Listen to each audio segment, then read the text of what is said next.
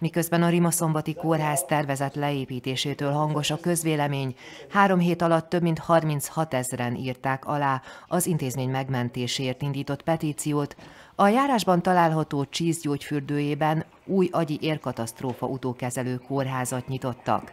Szlovákiában a maga nevében ez az első ilyen specializált központ, a pácienseket októbertől fogadják.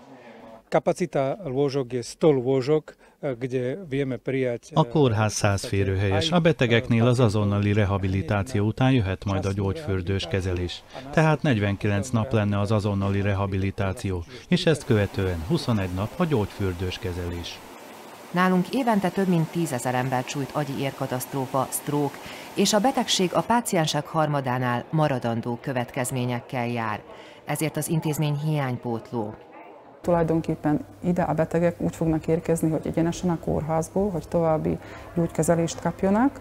Ugyanúgy részesei lesznek a fürdő területén belül lévő gyógykezeléseknek, tehát ugyanúgy fognak ez a fizioterapeuta gyógykezeléseket kapni, fürdőt, masszázsokat. A mintegy két millió eurós beruházás magántőkéből és banki fedezetből valósult meg. Egyelőre a Dvover a klienseit és magánbetegeket fogadnak, de idővel a többi biztosítóval is szerződést kötnének. A betegekkel logopédus és pszichológus is foglalkozik majd. A rehabilitációnak az ér- és légzésgimnasztika, a neurorehabilitáció is része lesz. A pácienseket vertikalizáljuk, lábra állítjuk, járatjuk. Nekik és a környezetüknek is fontos, hogy a mindennapi életben önellátók legyenek. Akkor is, ha bizonyos fokú egészségkárosodással kell élniük. Az intézmény ünnepélyes átadásán Vladimir Lengvarski egészségügyi miniszter is részt vett. A beruházást pozitívan értékelte, lényegében több száz ilyen kórházi férőhely kellene, mondta. Lengvarszkitól azt is megkérdeztük, hogy mit szól a Rimaszombati kórház leépítése ellen indított petícióhoz. Petičný výbor minulý týždeň odovzdal petície. Že bolo to absolútne predčasné a neviem, odkiaľ tú informáciu mali, že sa tu Abszolút korai volt. Nem tudom, honnan vették, hogy valamilyen kórház bezárását tervezzük. Semmilyen kórházat nem akarunk bezárni, főleg nem a Rimaszombatit.